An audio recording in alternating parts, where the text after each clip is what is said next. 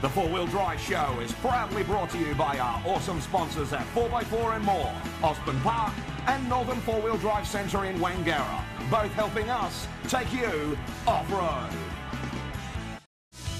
You're watching the Four Wheel Drive Show, taking you off-road. Welcome to this week's episode of the Four Wheel Drive Show. This week we take you on a little expedition we did to Julimar. We had a lot of fun exploring the forest and uh, having a bit of a play in the mud. After that we've also got a trip down to White Hills, but the big episode this week is the competition for the 2 inch lift from West Coast Suspensions. We'll be telling you who won that a little bit later on. But first up, let's go have a look at Julimar. Uh, today we're here with Phil. Phil's out on this run with us through Julimar. Tell us a little bit about your car, Phil. Okay, she's a uh, 2004 NP Pajero diesel. Yep. Uh, auto. Uh, I've had her for about six years now. Um, she's pretty much standard. Uh, I'd like to, you know, give her a bit of a uh, maybe a, a, two-inch lift kit, uh, a set of maybe higher tyres. Yeah. Um, and just probably a little bit more on the recovery side. She's uh, she still needs a couple of recovery points. Yeah, well, that's very important when you're four-wheel driving. Yeah. So, what sort of trips have you actually been out and done with this? Uh, we've done the power pole trip um, out, out here. We've also done um, uh, the sand dunes out in. Um, Wilbinga. Wilbinga. Wilbinga. You told me about that one earlier. Yeah. yeah. uh, and basically this one, this has been our, uh, you know, we haven't done a, a, a, hellish lot with this particular vehicle, but um, yeah, we've been going through so trying, trying, to get a little bit more into it. Is it actually your first four-wheel drive or? Very first four-wheel drive. First four-wheel drive. It yeah. goes quite well. It's handled today, not a problem. It has done well. And we we had a good little entrance into the place. So we did, yeah. yeah. Took yeah. the Widowmaker there, so she was nice and fun. so, any future plans apart from lifting it and bigger tyres? Um, I was actually looking at um, you know putting um, a bit more gear into the back, you know, somewhere to put the fridge properly and so put um, your storage yeah. boxes and yeah. slide and stuff yeah. like that. Yeah. Yeah. So just basics, leave it as set up as a touring vehicle. Just as touring, yeah. Yeah. Yeah. So how, how do the family find it? Nice and comfortable? Yeah, they like it. They yeah. like it. They think it's good. Yeah. Excellent. All right. Well, thank you very much for today. Yeah. Well, thank and, you. And uh, we'll see you next time. No worries. Thank you. Well, we're here with Shane today. Shane's come and joined us on this trip through Julimar. Now Shane, tell us a little bit about your wagon here. Yeah, no problems. Rev, she's uh, it's a 2000 GU. Yep. Uh, I've uh, had it nearly 12 months. It's pretty well stock standard at the moment. I've uh, fitted a UHF radio, some light yep. force spotties on the front. Um, came with the winch bar from Nissan on the front, so yes. next plan's going to buy myself a winch. Yes. Well, the, the, the, winch bars they actually provide from Nissan are actually ARB bars too. Oh, okay. Yeah, because yeah, it, does say on there it's an XD 9,000 pound yep. winch on the front, so I've got yep. to line myself up one of those. Oh, that's awesome. Um, don't want to do too much to it. Obviously, it, it's a daily drive, so yeah. plan on just doing a two inch lift. Um, probably a 33 inch tyres just to yes. give me that little bit of extra clearance on it. Yeah, muddies or standard ATs? Uh, being that I drive it on the bitumen a lot, it'll probably just be the ATs, but yeah. you know, wouldn't mind getting a set of MTs as well. Yeah. yeah, they make a lot of fun. Exactly. Uh, yeah. yeah, just want to get it, get myself a decent fridge and uh, probably build myself a set of drawers in the back. At the moment, I've just got a big plastic storage tub that I tie down and yes, yes there's a lot of people do. Yeah, yeah. got to got to start somewhere. So. Well, that's it. What what sort of trips have you done with it so far? Um, so far, I've been out here a couple of times out here to Julimar. Yeah. Um, we did a uh, four-wheel drive course with Ultimate Four-Wheel Drive Training. Yes. And we went up and did Wilbinga, and we went and did Mundaring Power Lines as part of the training course with that. So it's uh, it's all still in progress. Yeah. We haven't done many trips yet. Um. We live in Ellenbrook, so Gnangara Pine Forest is nice and close. So oh yeah. We're out there quite a bit, weekends yeah. and things like that. And I've got my mate Smitty along with me today in, in the passenger seat, and yep. we usually go out with him with his Hilux as well. And yes. Well, we're off on another day trip today. We're off to uh, Julimar State Forest, I think it's called, um, which is at the back of uh, Bullsbrook. Now, I'm not exactly sure exactly where it is, um, but we do have a trip leader, which is Rev so hopefully he's not going to get us too lost. Now there's a group of us, we've got about eight cars all up and we've got a couple of new faces which is good and um, we're going to see how it goes. So we've just met up with everyone, we've just left Ginger's Roadhouse and we're just coming into Bullsbrook now and um, let's go, we'll see what the day entails. It's a nice day for us today so there we go.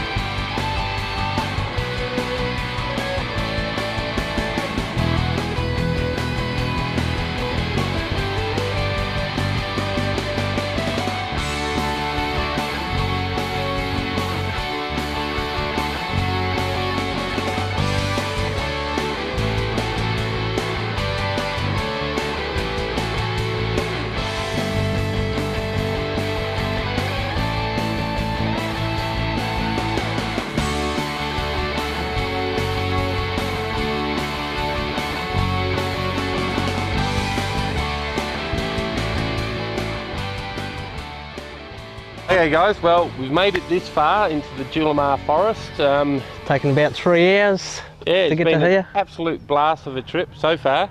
Yeah. We've come to this nice clearing. There's a few little mud holes here, but first up we're going to stop. We're going to have a bite to eat, Oh yeah. and then uh, old Revs here is going to show us how to go through the mud. Uh, no, but that's Dutchy's going to do that today. Dutchy's going to show us. Dutchy's going to show us. Okay, so Dutchy's going to show us how to go through the mud, and um, yeah, that's after we have a bite to eat, and then after that we're going to continue on. We will. So Oh, Rev's doing well as the trip leader. He's only got us lost twice. Ah, come on now, I didn't do too bad. yeah, you didn't do too bad. Didn't do too bad. But anyway, guys. Okay, so we're going to throw to an advert at the moment, and then um, we'll be back t- with the rest of this trip. For sure. So uh, stay tuned.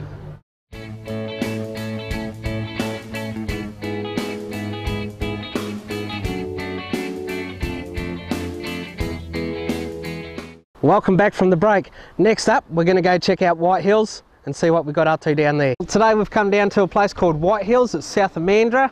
We're about to go and jump on the beach. We've come down with a big group of guys, so we'll go and see what it's all about down here. Go do some fishing, some relaxing, have a bit of a play.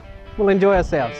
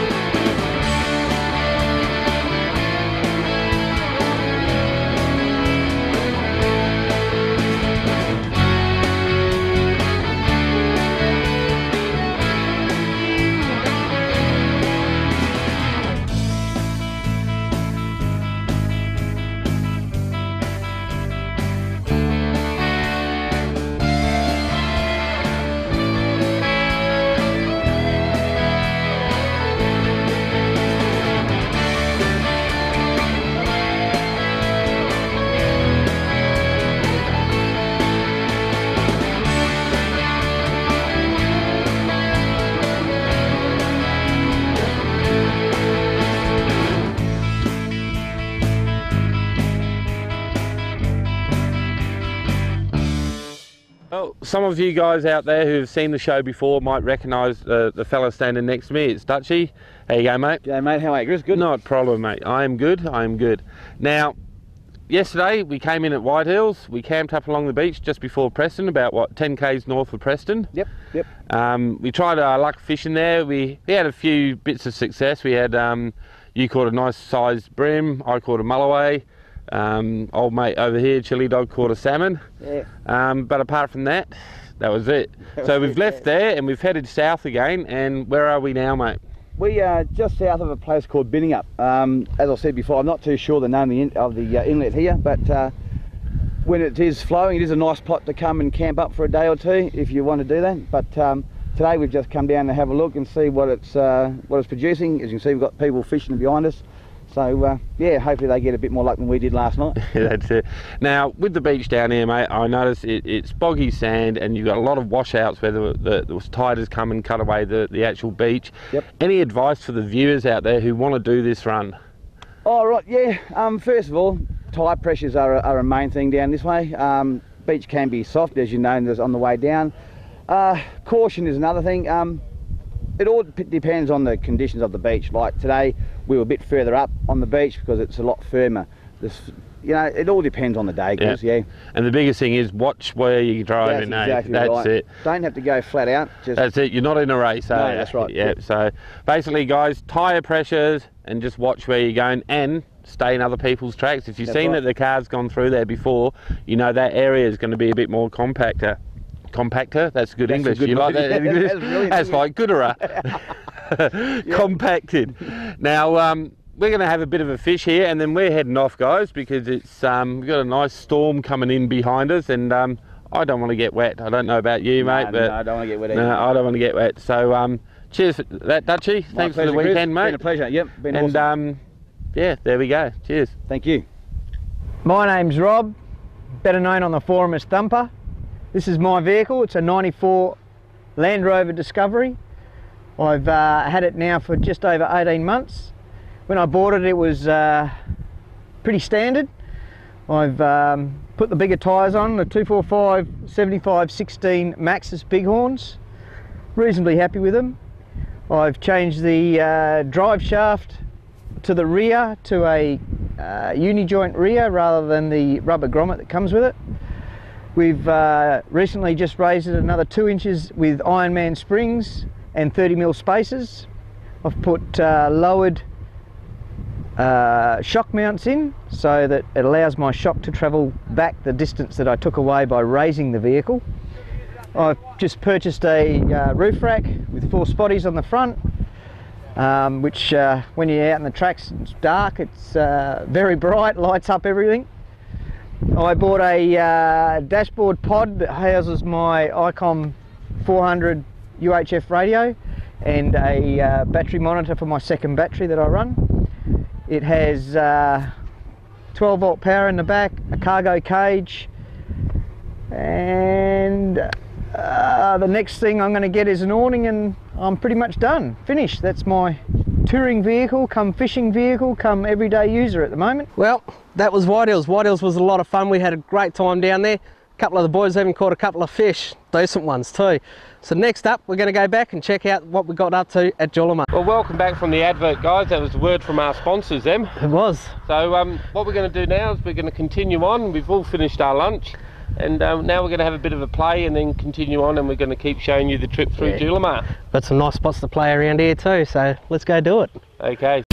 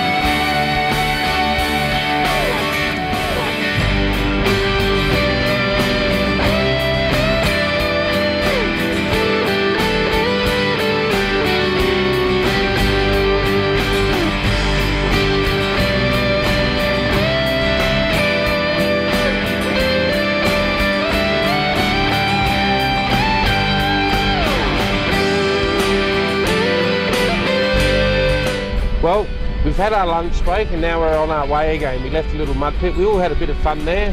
I um, decided to show you, well, show people my balance and skill and slippery mud and um, it didn't quite work out in my favour. That's another story. Hopefully we never got that on camera because I didn't have the camera on me at the time. Good. But anyway, so what we've done there is we've left there and we've sort of headed uh, north by northwest. We're just following in some tracks and we're just seeing where it takes us basically. There's lots of little roads around here. You can't really get too lost in here. I'm sure no matter which way you drive, you'll end up somewhere. So that's the best thing about th these places. Um, but this track's a bit, bit of a windy little track we're going through, very dusty at the moment. So, but all in all, we've had a great day. Uh, our trip leader, good old Rev, he's only um, got us lost a few times. But that's all right. That's all part of the game, isn't it? You know, I mean, you're out here just as an adventure. You know, it doesn't matter where you end up. It's just an adventure. So anyway, there we go. So we're just going to continue on and see where this takes us. Well, that's it for today up here at Julimar. As you can see, very basic tracks. Anyone can do it. A couple of little difficult spots which we picked deliberately like to have a little bit of a challenge. But uh, yeah, anyone can come up here, enjoy it for a weekend. If you do come up here, make sure you got all your provisions, plenty of water, food, the whole works, because there's nothing on site here. So come along, have some fun, enter from one of the many various spots. And uh, that's it for us today from Julimar. Big thanks to everyone that come along and we'll catch you later. Well, as you saw, we had an absolute blast there at Julimar. Good place for a day out, picnicking, camping, whatever you want good soft roader area too. There is a couple of tracks that are hardcore and you do need a decent four-wheel drive for, but mostly nice and easy. Coming up next, we're going to announce the winner of the West Coast Suspensions 2-inch lift, and the winner of that was Brad McRae. Congratulations, Brad. Awesome stuff. Sorry to everyone else, but thank you for entering the competition. It was absolutely unbelievable how many replies we got for it. Well, that's it for us this week. Coming up next week though, we're going to go and check out the Perth four-wheel drive and adventure show. We're going to go see what deals they've got on offer, what exhi exhibits they have, that's a hard word to get out at times, what exhibits they've got, and just have a general look around and a good time. So until next week, it's the four-wheel drive show, taking you off-road. You've been watching the four-wheel drive show, taking you off-road. If you ever do miss an episode, tune into IINet's Free Zone.